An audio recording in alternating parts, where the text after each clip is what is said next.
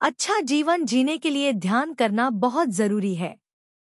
यदि आप चाहते हैं कि आप शारीरिक रूप से स्वस्थ रहने के साथ ही मानसिक रूप से भी स्वस्थ रहें तो प्रतिदिन ध्यान करें।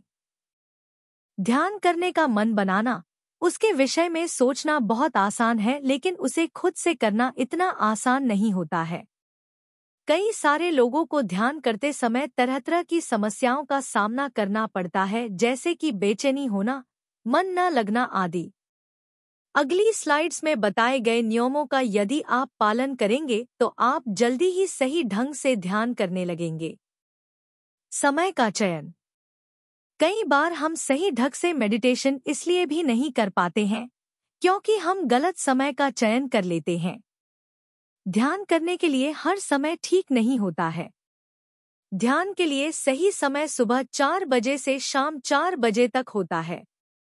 इसके पीछे कारण यह है कि इस समय सूर्य और पृथ्वी के बीच 60 डिग्री का कोण बनता है।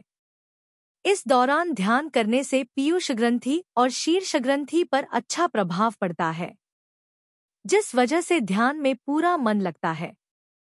स्थान का चयन।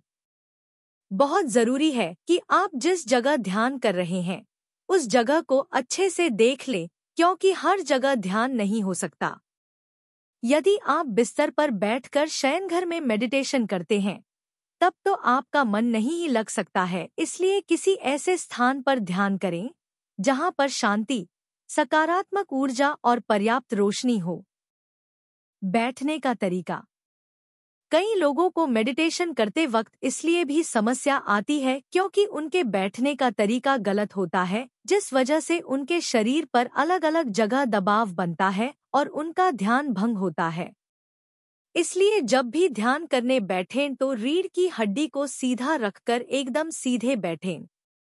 ढीले ढाले कपड़े पहनें और कंधों और गर्दन को अधिक न तो ताने और न ही बहुत अधिक ढीला भी न छोड़ें। पहले थोड़ी कसरत कर लें। कई बार जब नया नया ध्यान करना शुरू करते हैं तो हमें बहुत अधिक सुस्ती और नींद आने लगती है, जिस वजह से हम ध्यान लगा ही नहीं पाते हैं। इसलिए जब भी ध्यान करने बैठें तो पहले थोड़ी कसरत कर लें। ऐसा करने से आपके शरीर में सही ढंग से रक्त का संचार होगा और शरीर में थोड़ी गर्माहट आएगी, जिससे कि नींद उड़ जाएगी। ध्यान के दौरान होने वाली बेचैनी से भी राहत मिलेगी।